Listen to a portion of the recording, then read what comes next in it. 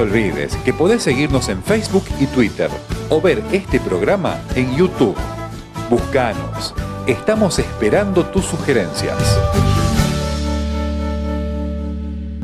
Que mi cerro sepa como lo he sentido casi con dolor, sembrando mis versos allá en la quebrada.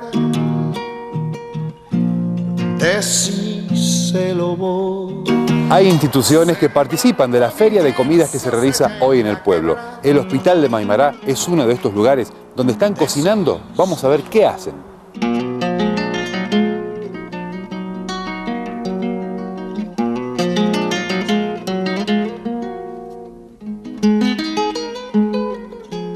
Estamos en la cocina del hospital, en donde también están preparando algunos de los platos para la feria de hoy. Angélica nos va a contar qué están haciendo. ¿Cómo le va? Muy bien, ¿Bien? bien. Bueno, ¿qué están haciendo en este momento? Y las empanadas, Qué rico. empanadas de pollo, Ajá. Eh, además de empanadas de pollo, ¿qué van a hacer? las humitas. Humitas.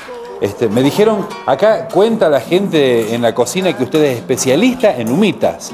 Sí, ¿Sí? por eso estoy ya comenzando con la humita. Ajá. ¿Y cuál es el secreto que tiene la humita para que sea la humita de Angélica?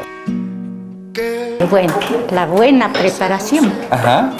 ¿El choclo es un choclo especial? claro. El, el amarillo de aquí de la zona. Bueno, ¿vamos a verlo? Versos allá en la quebrada. Decíselo vos.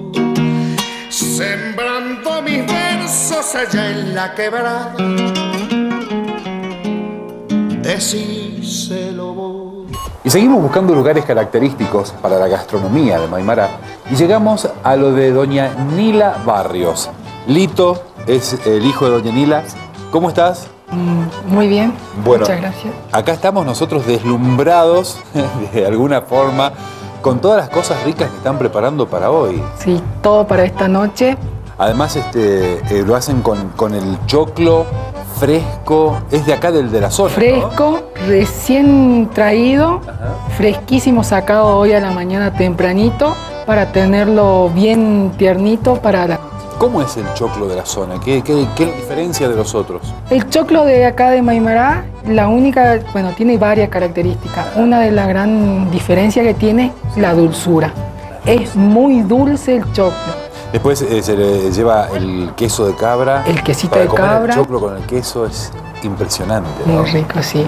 Bueno, eh, además de las humitas, que además son dulces, por- pero no tienen azúcar, por, por el choclo. Sí. Eh, ¿Qué más? Tamales, que son de, hechos con charqui, o sea, carne seca, Sí. y bueno, con harina de maíz. Y en cantidades importantes, creo, ¿no? Sí, por la concurrencia, sí. Eh, tenemos previsto unas 2.000 empanadas de carne, eh, Humitas. humitas, más o menos unas 300, igual la cantidad de tamales, 300 tamales. Y, y algo de las frutas también tenían para contarnos, de las preparaciones que hacen con las frutas acá, que son frutas también de aquí de la zona.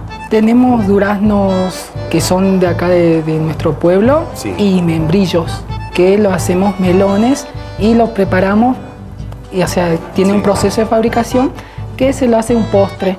Entonces, para acompañar después de toda la, la fabulosa cena de los tamales, la humita, el quesito y el choclo, eh, el membrillo y el duraznito.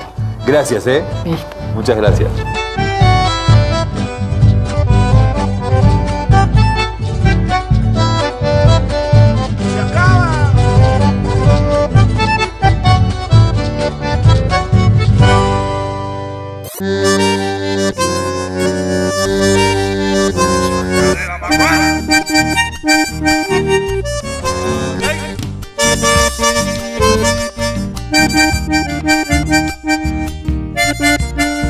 Nos sorprendimos con tu emprendimiento, nos sorprendimos con esta fábrica eh, artesanal, ¿no? Exactamente, artesanal de cerveza. sí. ¿Hace falta una gran planta productora, una industria gigantesca como estamos acostumbrados? Generalmente no, pero bueno, uno se da maña, se da maña. Decime, ¿qué se hace acá? ¿Qué, qué se pone en estas ollas? Eh, bueno, acá va la malta, con eh, el agua. El agua caliente a determinada temperatura, que lo mido con esto, Sí. todo electrónico. Eh, y bueno, después macera una- más de una hora. Le saco todas las propiedades de la malta, a la cebada, todos los aromas, todo eso. Y eh, bueno, después separo la- el líquido de eh, lo sólido. Lo llevo allá a hervor. Ajá. Ahí hierve más de una hora. Y le agrego el lúpulo, que el lúpulo es una planta que tiene unas hojas y un fruto muy pequeño que le da el amargo a la cerveza clásica. Bien. Y se le agrega directamente ahí. Sí. Sí, dependiendo del estilo de cerveza que estemos haciendo, negra, rubia, roja, eh, se le echa más lúpulo para mayor amargor o menos lúpulo. Bueno, después enfriamos por este enfriador por placa de acero inoxidable especial para eso y directamente pasa a esos tanques. Ajá. ¿Qué, qué sucede ahí en los tanques? Eso sucede la magia ahí. Ajá. Esta es la magia que convierte la cebada en cerveza. Exactamente. Ahí va eh, la cerveza a una determinada temperatura, aproximadamente 20 grados, con la levadura especial de la cerveza. Entonces, la levadura esa fermenta todo, todo eh, el, líquido, convierte todo el dulce ese del líquido en alcohol y dióxido de carbono. Bien. Y ahí está 7 días, de 4 a 7 días aproximadamente. Se almacena allí. Exactamente. Después se extrae, se filtra, toda esa cerveza se filtra eh, con un filtro especial y se lo lleva al frío, al freezer. Más de 21 días reposo. Frío. Todo frío, 4 grados constantes. Ah, mira. Y después, bueno, eh, se lo presuriza en esos tanques y ya se lo puede envasar. Y ahí surge esto. La cerveza. Cerveza que tiene ciertas características, ¿cómo cuáles? Exactamente, bueno, esta es una cerveza rubia, ¿eh? Este es muy suave, con muy poco amargo y eh, alcohol eh, moderado, 5% aproximadamente. O sea que una, una cerveza esa fácil de tomar, rica. Exactamente, eh, acompaña con todo, no compite con la comida, nada. ¿Qué otras variantes de cerveza se hacen aquí? Esta con miel, que tiene otro tono y más, más cristalina, que eso sí. le echamos miel.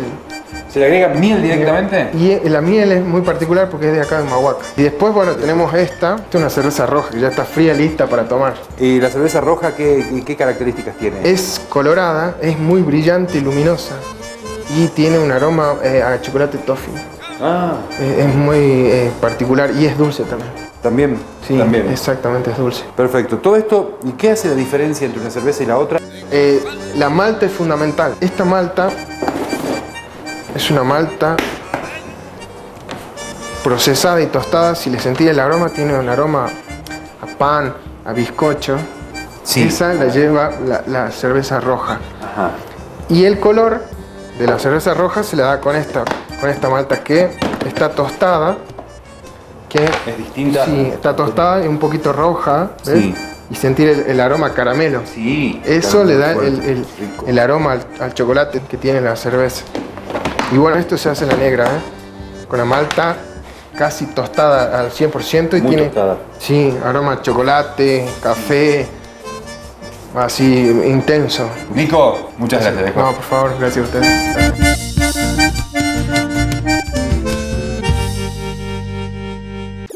No solamente encontramos cervezas, sino también esta gama de maravillosos productos que hace Carmela. ¿Cómo estás, Carmela? Muy bien, muy buenas tardes.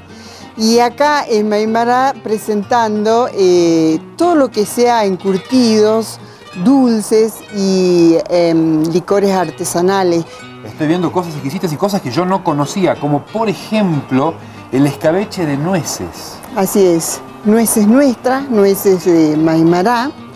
Eh, es una especie de, de chutney que tiene apio, manzana, eh, cebolla, morrones, tiene azúcar, tiene sal, tiene vinagre, tiene vino, tiene Debe todo en proporción. Sí, riquísimo. Tiene todas las combinaciones posibles. Bueno, después acá vemos los escabeches de llama, los encurtidos, que son la- las conservas ¿no? de, de algunas, de, de algunas verduras, como por ejemplo el ajo, dientes de ajo rellenos con morrones. Así es. Ahora, ¿todos estos productos son de acá?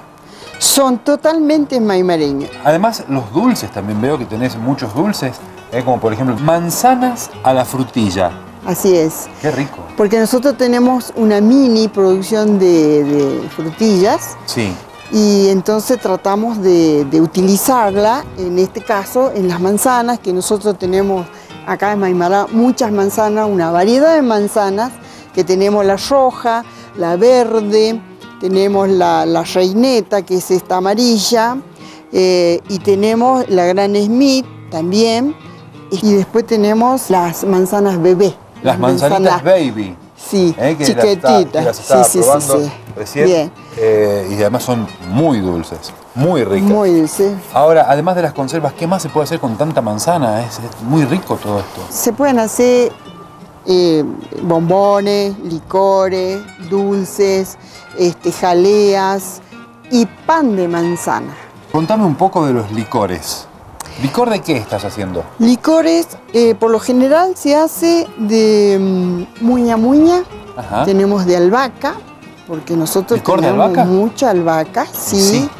Sí. tenemos, y bueno, hacemos el licor de manzana, el licor de durazno, los licores de membrillo, porque hay mucho membrillo. Con todas las frutas que trabajas aquí en tu casa, ¿cómo te las arreglás para tener frutas fuera de la temporada? Por ejemplo, el durazno fuera de verano, ¿cómo llegamos? Conservamos nosotros eh, nuestros duraznos, mira, lo ponemos en una canasta, cubrimos, Esto va con mucho papel de diario. va con ¿no? mucho papel de diario y lo mm, cubrimos prácticamente que no le quede, no le entre el frío Sí. o el frío del freezer o el hielo del freezer para poder trabajar en mayo, junio y hasta julio más o menos. Bueno, Carmela, maravillados con tu producción, nos tenemos que despedir. ¿eh? Agradecerte, por supuesto, esta recepción tan linda. Bueno, yo me alegro mucho, este, estoy contenta porque me hayan visitado. Quiero despedir invitándote con un bombón de quinoa con dulce de leche de cabra. Es quinoa con dulce de leche de cabra, eh, hecho un bombón. Eh, Es un bomboncito. ¿Puedo probarlo? Sí. Sí, sí, sí, sí. Muchas gracias, ¿eh? Gracias eh, a- por... A ustedes. Chao.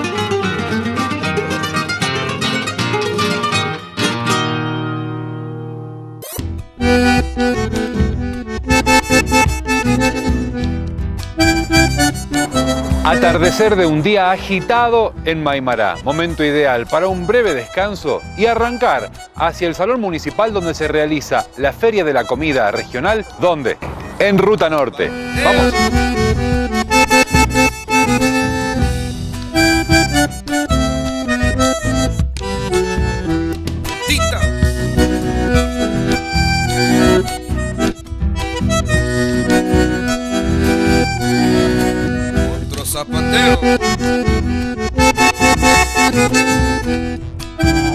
Comidas regionales, preparaciones tradicionales para esta feria en Maimará. Nosotros seguimos recorriendo las parrillas, seguimos recorriendo las ollas de tamales hirviendo y ustedes sigan disfrutando de este espectáculo aquí en plena quebrada de Humahuaca en una noche maravillosa.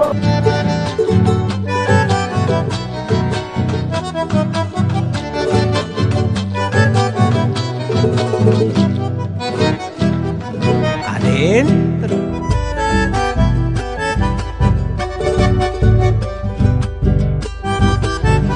Joven artista que se presenta esta noche en el Festival de Maimará, Maxi Gil, un gran amigo. ¿Cómo está, viejo? Gracias Gustavo, bien, la verdad que muy contento, como te decía, de poder estar en este festival que para mí es uno de los más lindos que tiene Jujuy. Este, hace varios años que venimos tocando en este festival y bueno, la verdad que este año también estamos presentes y muy feliz de poder ser parte de, de esta fiesta. ¿Cómo va el crecimiento de la carrera? ¿Cómo va la consolidación en el escenario de Maxi?